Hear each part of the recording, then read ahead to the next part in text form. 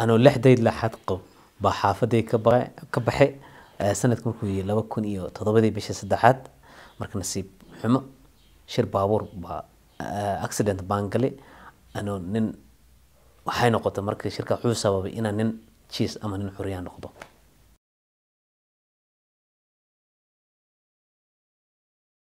Marka magacaygu waa haruun macalin xasan wey waa reer mandheera khaasatan eh, kutulo meel lah you know? Eh, laakiin waxaan ku soo barbaaray magaalada mandheera waxbarashadeydina waa mandheera mandheera boyston primary school mandheera secondary school alafu waxaan imaaday jaamacada kenyatta university. Markaas baa igu horeysay nairobi. Marka xagga my first degree baan ku sameeyay. Eh, after university marka sida dhalinyarada kastaba nairobi baan u soo guurnay.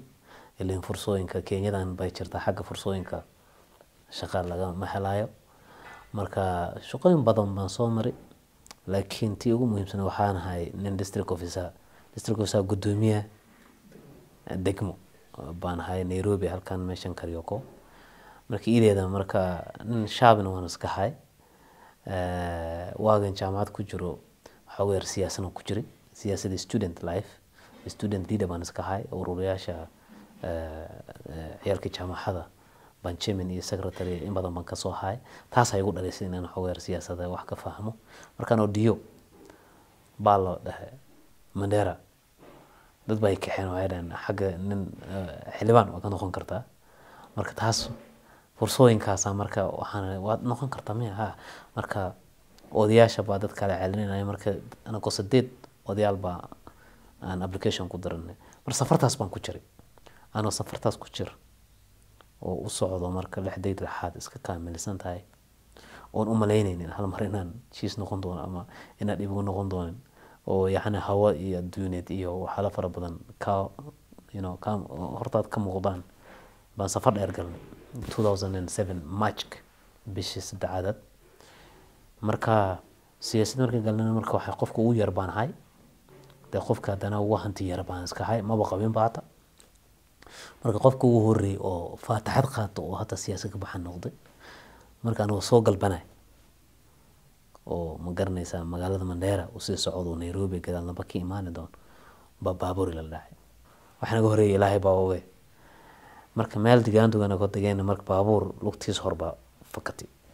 Taas basaan xasuusta markani waxaa lee kal kulli waa waxaana lee sheegay wey marka daaqad baa furantay markaani daaqad baan ka duulay so marka eh, meelo badan baan ka jajabay madaxa know, qoorta gacmaha xabadka. Meelo badan baan ka jajabay marka nairobi hospital day Eh, ninka dhakhtarkayga waxaan xasuustaa inuu dhahe adi you inaad dhimad waa diidig wey ilanaa ka mari lahay moogta kumacsan waxaa danja waad ka baxday. Khatarnimada waad ka baxday. Laakiin weligaa ma socon doontid marka messagekii igu darna oo dhah waa taawi. Ma socon doontid ahaa muxuu ka wataa ninkan? Marka intii horeysa ama xawar waaba iska fiicnahayba laakiin from here baa marka murug iyo balaa igu sii furantaba warta shalay waa fakanaysaa hadda daaba soconaynan. Adduunka faa'iidadiisa maxaa wey muhiimada adduunka maxay tahay? Haddaaba lixdaad lixaad qaben oo fakanaynin waxaan xasuusta marka dadka oo curyaamiinta ama jinsiyaasha oo naafada. Saas oo u kaan doontaa miya. Noloshada marka yani muhiimadeed ama macaankeed ama ma garanaysaa waxaalaas kulli ay ka baxeen. Murugaan sii galaba marka hal sanad baan isbitaal ku jiray. One whole year. Sanadka labaadana xaafadan oo meyga reer kutulo baa ligay reerkayn markiideed xaasna ma yeelan laakiin hadda sheekooyinkaas kulli waa la xir hadda waana sheekadan waa xirantay marka adduunka marka hal san kale haddana xaafadan kutulo aan jooga haddana qolqo yar oo aabahey xaafadiis iyo walaalahay baa la dhigay meeshaan iska joogaa shalay saaxiibayaal boqolaal aad qabtay maanta saaxiibayaasha kulli waa tatageen dadkii oo qaraba kulli waay si siibteen.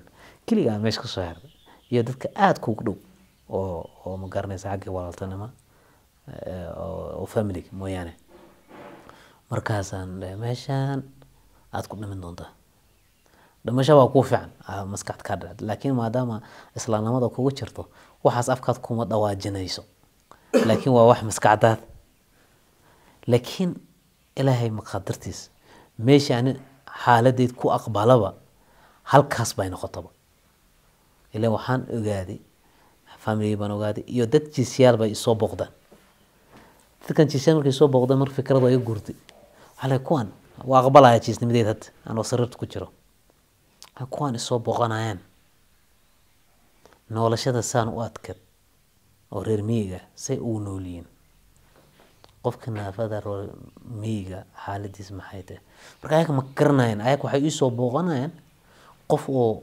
oo family ama oo qaraabo oo jiran haana iisoo booqanayan mooga jiisnimada iiba soo booqanaynan laakiin anigan gudahay waxaan ka fahamsan yahay inaan nin jiis yaad. Marka waxaan leeyahay haddaan kuwan camal yihi noolasho seexani doonta. Ayag noolasho saylahayd how surviving? Dad uma garanaysaa dee guurayaan oo meela fog fog kala aadayaan oo biyo doog raadanayaan haddana nin family leedahay ama cunug family leedahay oo naafa xaalad say masalooyinkaas ana aada ka fikira marka waxay ugu beertay inuu focuskaba aniga igu guuro oo kaale masaladan faham. Marka waxaaba ii noqotaba therapy daaw ahaan ii noqotaba. Marka buugta aan akhristay horaan qof iska buug wax qoran iska ahay so interestkeyd marka waa guurtay dowladda ka guurtay waan u islaamnimada maxay ka leedahay naafnimada? Bulshada naafnimada maxay ka leedahay? Contemporary waa know sheekada masalada dadka curyaanimada maxay ka leedahay? Su'aalahaas jawaabteed raadisteed baan gal marka anuu sareert ku jiro. Soo qolkeygii yaraay wuxuu noqdaba intii meeshii sanadkaas library buu noqday. Waa mashquul marka maala marka odayga aabahay baa yimaada marka waxay u dhaheen dee dad adig kaa daran waan aragnay adi maxaad maskaxdooda fiican tahay. Gaxmaada way leeyihiin. Marka maxaad yani sidii adi ma garanaysa xaalad u aqbash? Taasaa farxadahay laakiin marka aabahay saasu dhahay maadaama uu leeyahay ani already process waan bilaaba markaasaan ku dhiday nairobi u laabana shaqaday dio aan aada. Shaqada dio marka waxaan u aada wanaag ama yani marka ururkaas baan asaasnay.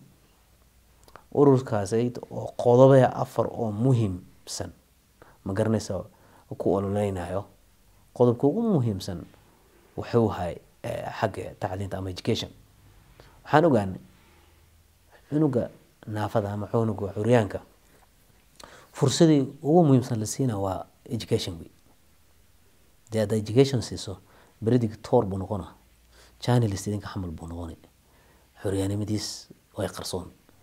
Laakiin fursadaas haddaad siini wayso berito banaankaas ku fariisanay koombada kuu xoorsanay oo ku tuugi. Taswiiro wanaagsanna maaha qof kastana waxa siiyo. Kow una ilahayd naystaabtaba labadoo shil meesha ugu tuuriba. Tii labaad waxay wey health caafimaad.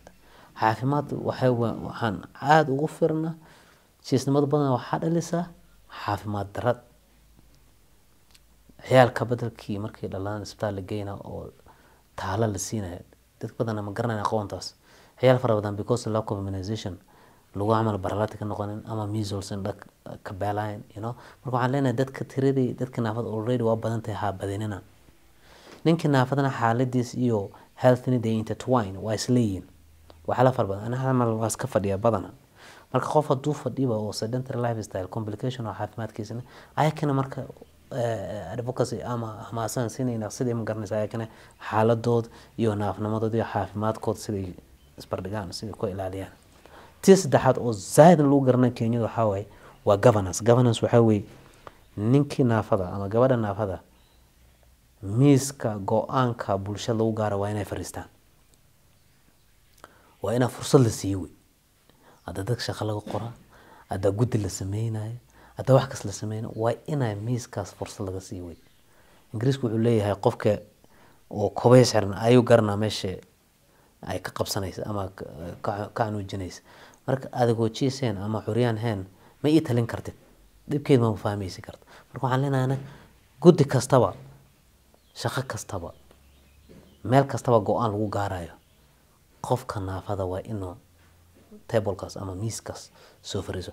Taasaa marka zaaid lagu garanaya because taas dad baan maxkamo geyna dowla wadooyin maxkamo geyna sharci baan qornaa motion baan iska sponsor garaynaa xildhibaanayaashaan train garaynaa sida xuquuqda ibnaadinka ma garanaysa oo qofka naafada u yeelayn taasaa aad lagu garanaya marka tii afaraadna waxaa weeye oo ugu dambeysana waa social economic xagga dhaqaalaha.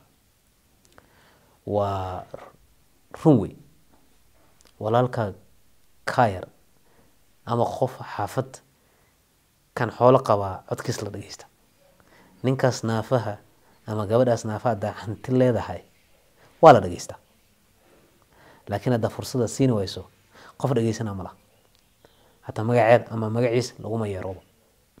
Markii kale waxaa lagu oranay odayga me xaajigaaw laba kun iyo toban iyo todobadii toban sano oo jiisnimadeyd baan buuggan publish garay seventeenka toban sano baa nin curyaan ahay ama nin jiis. Marka buuggan waxaan u qori inaan dad u sheego fikradeyd waxay ka ahayd masalada dadka naafada. Iyo waxa kalaan dadka u sheegay noolashaday safarteed adkeed. Toward noolashadeed dadka naafada. Iyo dhibaatooyinka la kulmay iyo aqbalashadeed.